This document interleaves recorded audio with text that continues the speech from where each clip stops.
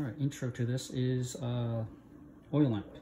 Um, safety reasons, I have uh, this open flame. Please it's always attend open flame with fire, fire extinguisher, and uh, oil lamp.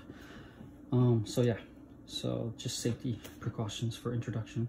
Filling up the oil right up to about the tip of the uh, the copper tubing there, threader I call it. 100% cotton thread, uh, oil, and wiring and uh, pretty much idea is light it up, set it in, and there it goes. And we'll also test the, uh, cut off the oxygen with the cap.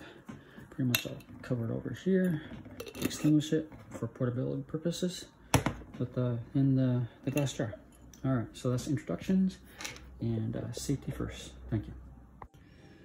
All right, uh, this is a short video of my oil lamp. So I've got the oil match and as you can see mason jar um this is the uh the wick um it's got copper uh, and it's got some iron uh pretty much took one of those uh like those meal little shaker containers from GNC, those little metal ball uh, stir shakers. And I cut that in half, and then I took some uh, aluminum wiring and uh, came up with this contraption. Um, why like this? Uh, so that the wick pure 100% cotton can go inside here, right? The idea is to fit right there. Sorry, the camera angle's bad. Goes in there, and then I can go ahead and adjust it, light it, adjust the wick, put it back down, and a light. Fluid will be down there, and also in case of anything for transportation, the cap. And it'll go right just like that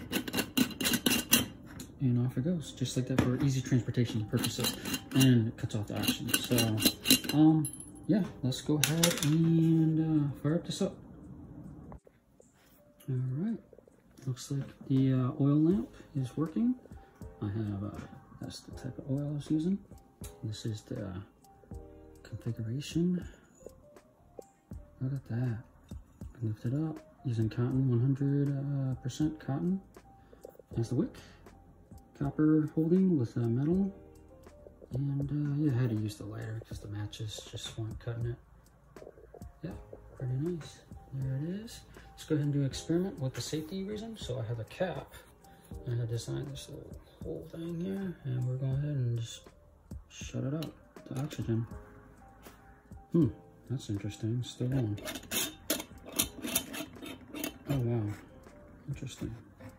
Hot to touch, nope. Even hot. There it is, safety reason. And you can pretty much transport it. Obviously not tip it over, but there's the lid. Pretty cool. Thank you for uh, watching. Subscribe and like.